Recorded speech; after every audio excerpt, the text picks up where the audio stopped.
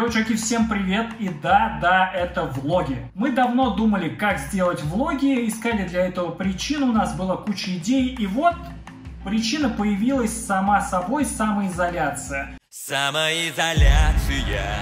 Это не значит, что у нас закончился контент. Мы отсняли тест офигенного компьютера, и там будет несколько роликов. У нас есть новое шоу. И это получится бомбическое шоу по той причине, что участие в нем примите вы, а не только я один. Короче, скоро будет тизер, вы посмотрите. Я думаю, суть вам понравится, и наш общий посыл тоже. Ну а пока мы сидим, страдаем, пьем чай с лимоном, я понимаю, что быть блогером, ну точнее влогером и снимать влоги из дома, это довольно довольно сложно. У меня нет нормального штатива и снимаю сейчас на iPhone 11 Pro Max. Кстати, вы можете оценить качество съемки.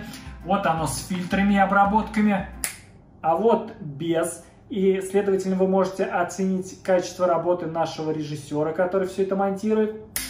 Ладно, возвращаем все на место. О чем можно поговорить в первый раз? То есть у нас такой несколько с вами тестовый разговор получится. Мы будем разговаривать с вами напрямую впервые, практически без нормального монтажа, без 4К разрешения, вот этих вот всплывающих графических штук, которыми изобилует наш канал. Обычно мы говорим про гаджеты, но есть небольшая проблемка. У нас проблемы, Флетчер? Во-первых, у меня этих гаджетов нет, а рассуждать о том, чего у меня нет, мне достаточно сложно, если это не какие-то легкие новости. Но с новостями опять же есть проблемы. Единственные новости, которые сейчас есть в мире даже гаджетов, это коронавирус. И следовательно то, что выпуски всяких новых гаджетов просто тупо отменяются. Меня это лично бесит. Вообще он меня бесит. Отменяются игры, выставки, фестивали. Коронавирус, твою мать, да остановись ты уже, а сколько можно убивать людей и заставлять нас страдать и сидеть дома? Черт, мне даже легче стало, если честно. И я для себя лично нашел выход. Я, скажем так, я, ну, мягко говоря, я компьютерозависимый человек. Саша, я выключаю или ты выключаешь? Мам, подожди. И у меня две зависимости. Это ковыряться в компьютерах, разбирать, собирать их. Ковыряться в новых гаджетах, изучать их. И второе это компьютерные игры. И я вроде как избавился от этой зависимости, вроде как подзабыл про нее, просто обычно было как? Была игра такая, Sims 2, она вышла, когда я учился в школе. И получалось так, что я уходил в школу раньше, чем уходили мои родители.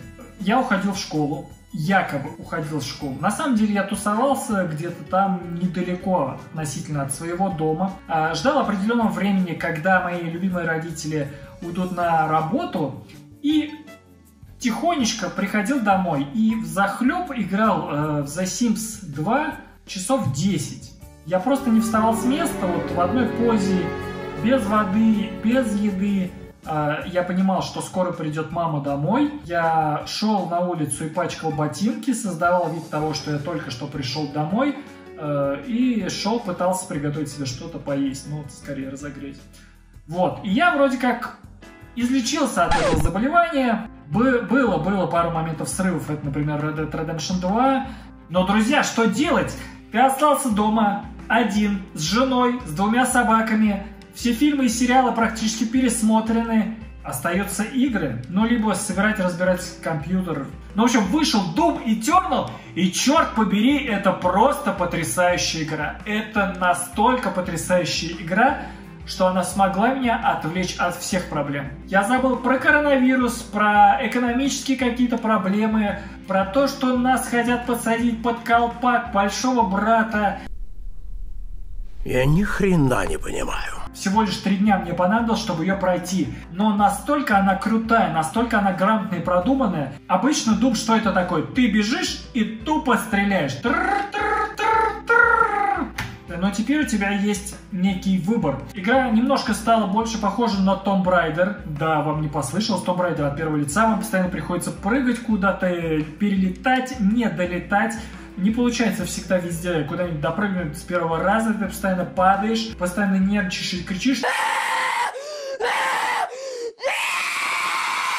Но это полпроблема. Настоящая проблема наступает тогда, когда тебе приходится во время битвы выбирать, что же тебе важно.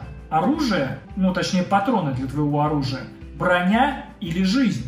И вот этот некий диссонанс, он всегда возникает в тот момент, когда монстров просто изобилуют, и тебя практически убивают. И тебе надо подбежать к какому-нибудь из монстров и решить, что же с ним делать. Достать из него броню, оружие или жизнь. Короче, в игре постоянно приходится выбирать, что тебе важно.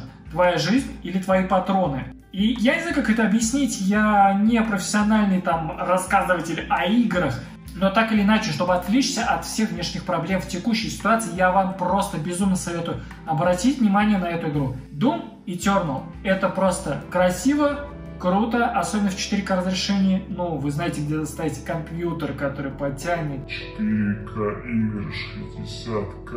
Это XCOM Shop, да, ссылочка в описании. Такая маленькая коротенькая реклама. В общем, Doom Eternal спас меня.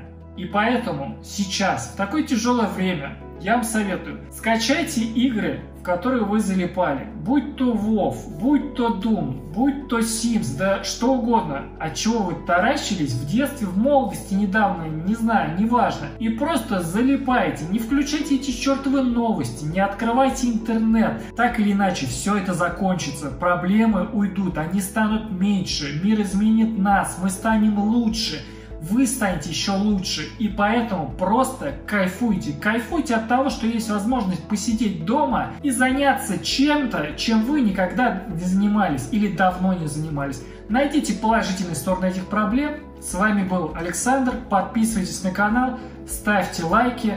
Дальше в таком формате, наверное, будут выходить полноформатные новости. Конечно же, будет обзор. Чуваки, люблю вас. Не думайте о плохом, думайте о хорошем.